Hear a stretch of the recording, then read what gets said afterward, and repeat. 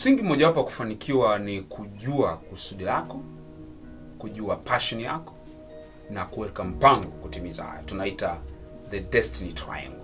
Sasa leo ningependa nizungumze sehemu mojawapo ya ile pembe tatu ya hatima ambayo inazungumza juu ya passion passion ni ile strong desire ni ile shauku kubwa ulionayo juu ya jambo fulani au juu ya kufanya jambo fulani. Na watu wengi sana wamekuwa wanajiuliza nitajuaje kama hii ndio shauku yangu? Nitajuaje kama hii ndio jambo ambalo nataka kulifanya? Na leo kwa urahisi sana ningependa nikuambie kuna njia tatu rahisi sana ambazo unaweza ukazitumia kujua kama hiyo ni passion yako au sio passion yako. Kumbuka nimeshawahi kufundisha kwamba unatakiwa ujenge maisha yako katika passion yako katika kile kitu unachokipenda. Eh? kwa hiyo ili uwe ni mtu ambaye kila wakati unafurahia maisha.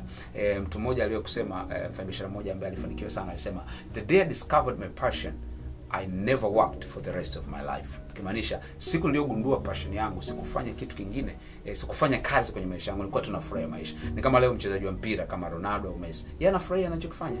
Kama mwimbaji yote ule wa mziki anafurahia anachokifanya. Wao unamlipa kwa sababu anafanya kile anachokifanya na anakifurahia tu bila shida. Kwa hiyo hata wewe unatakiwa kazi unayoifanya biashara unayofanya wewe unaifurahia kama vile ambavyo eh, wanamziki au wanamichezo wengine wanafurahia na inawezekana. Sasa utajuaje kwamba hiyo ni passion yako? Au utajuaje kwamba hii ndio kitu ambacho natakiwa nikifanya kwa sababu ni passion yako jambo la kwanza tunasema jiulize maswali ya msingi tunasema ask yourself important questions. Kuna maswali ya msingi ambayo unatakiwa ujiulize kuhusiana na maisha yako. Kwa mfano kama leo ningesema ninakupa pesa eh, una financial freedom eh, unataka kiasi gani kwa mwezi kwa mfano? Labda useme milioni ishirini. Na mi nasema kuanzia leo nitakupa milioni ishirini kwa mwezi. Utahitaji kufanya kazi ili upate pesa. Ila chagua kitu ambacho utakifanya kwa sababu unakifurahia kwenye maisha yako. Ungechagua kitu gani? Kitu ambacho ungechagua ndicho kitu nachokipenda kukifanya. Kwa maneno mengine kama ambacho umechagua kama ningekuwa na kulipa kinatofautiana na kile ambacho nakifanya sasa hivi. Tafsiri yake ni kwamba unachokifanya sio passion yako. Kwa fanya mpango wa namna gani unaweza ukatoka hapo ulipo ukaanza kufanya kitu kinachoendana na passion yako kwa swali lingine pengine ningekuuliza kama duniani kungekuwa hatuhitaji pesa ili kuishi. Hatuhitaji pesa kabisa. Ukitaka kwenda kuchukua kitu unaenda supermarket unachukua. Ukitaka kwenda sokoni unaenda unachukua. Ukitaka kusafiri au uhitaji fedha kusafiri. Wewe ungekuwa unafanya nini sasa hivi kwenye maisha yako? Kitu ambacho ungekuwa unakifanya ndicho unacho passion yako ambayo unayo.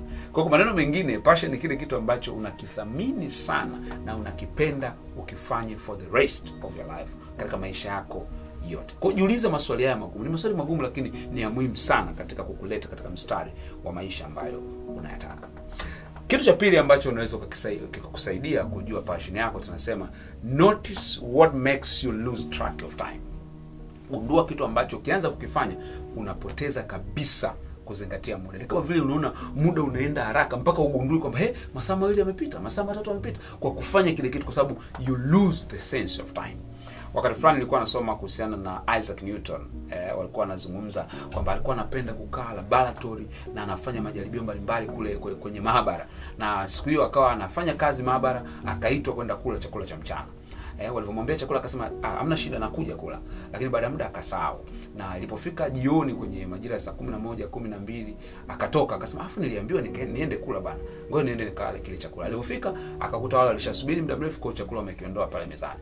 Eh, alivyoangalia akakuta meza imesafishwa imeondolewa. Akasema ah nilisahau bwana kumbe nilishakula. Akarudi tena eh, maabara kwenda kufanya uchunguzi na majaribio zaidi. Kwa nini ali lose sense of time? Kitu chochote ambacho unakipenda sana kitakufanya upoteze hata kujali muda. Una, unaona kama vile tu muda au, muda ni yani ukifanya kwa masaa manne unaona kama vile umefanya kitu kwa masaa kwa saa moja. Kwa you lose the sense of time.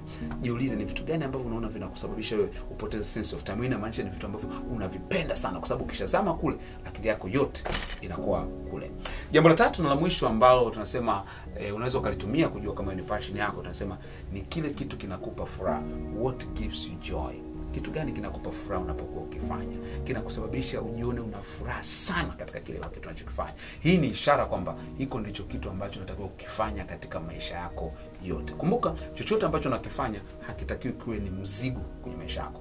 Unachotakiwa kujua ni kwamba kuna watu ambao walidharau kuishi katika pasheni zao. Wakafanya tu vitu vingine. Wakapata pesa nyingi wakawa matajiri. Lakini leo wanajutia maisha yao. Wanasema nimepoteza maisha yangu kwa sababu sikufanya kitu ambacho nilikuwa nakipenda. Kumbuka katika maisha maisha ni zaidi ya fedha. Na mara nyingi uzuri ni kwamba ukiishi kwenye pasheni yako itavutia fedha kuja upande wako.